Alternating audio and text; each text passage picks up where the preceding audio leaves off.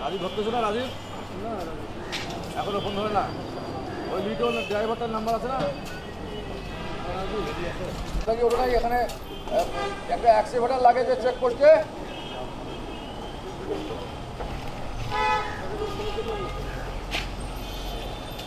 যেটাই হোক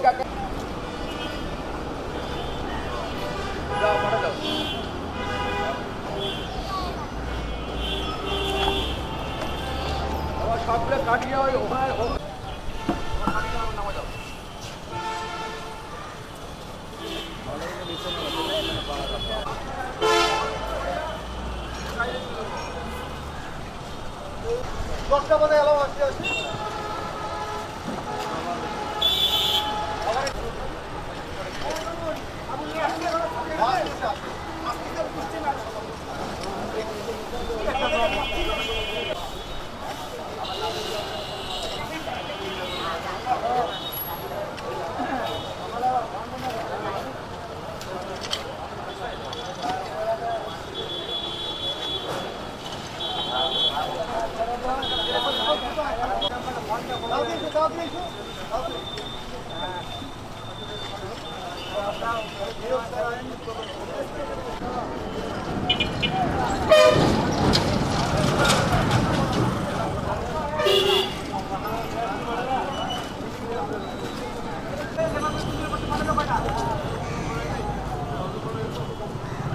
এই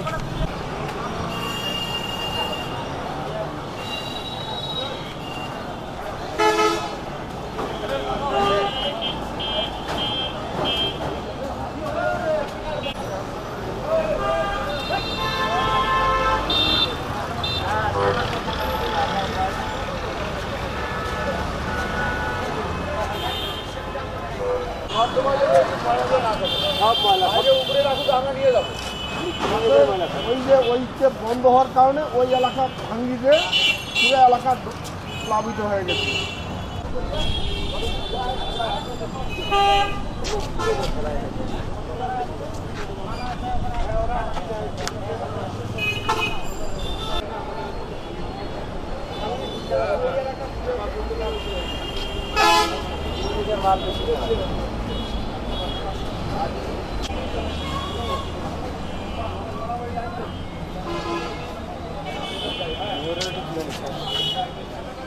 হ্যাঁ?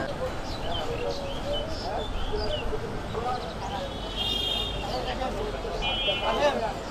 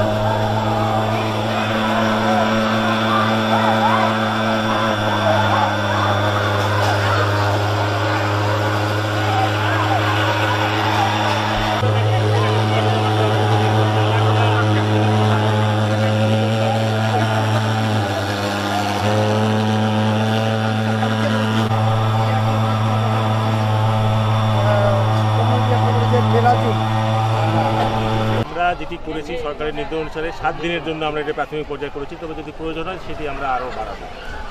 আপনারা কি মনে করছেন যে আপনার রংপুরে কোনো ডেঙ্গু আক্রান্ত রোগী বা হবে আমাদের রংপুরের নিজস্ব কোনো রোগী করেনি ঢাকা থেকে যারা এসছে তারাই ডেঙ্গুতে আক্রান্ত হয়েছে।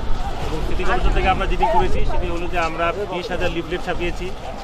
আমরা স্কাউটসদের এর মধ্যে দায়িত্ব অর্পণ করেছি। আমরা ব্যাপকভাবে প্রচার করছি যাতে সচেতন করার জন্য যাতে ডেঙ্গু না।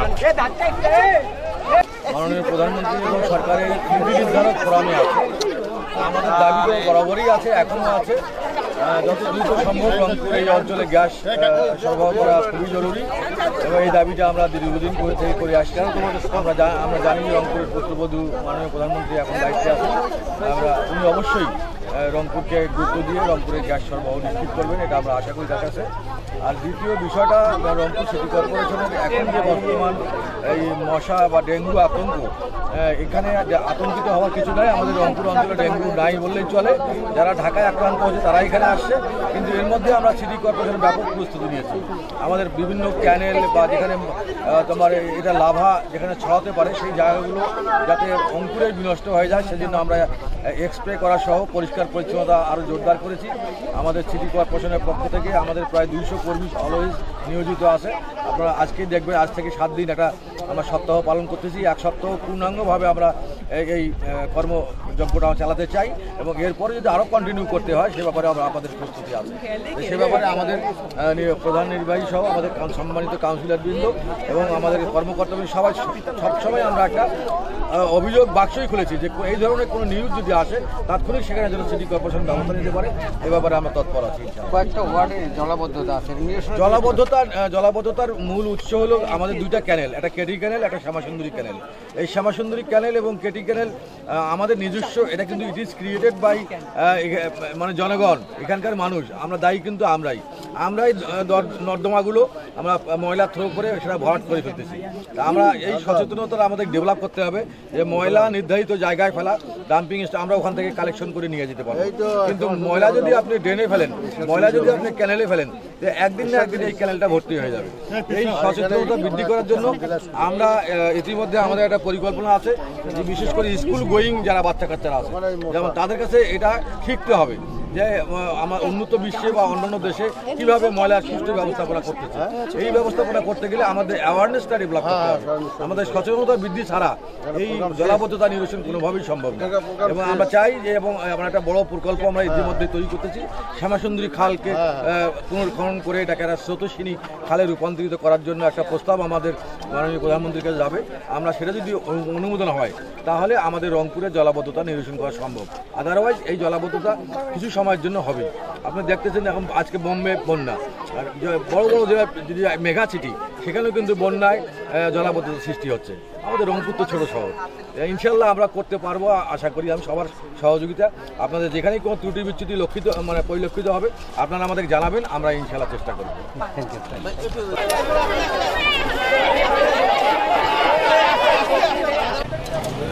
আর মানে বলো কথা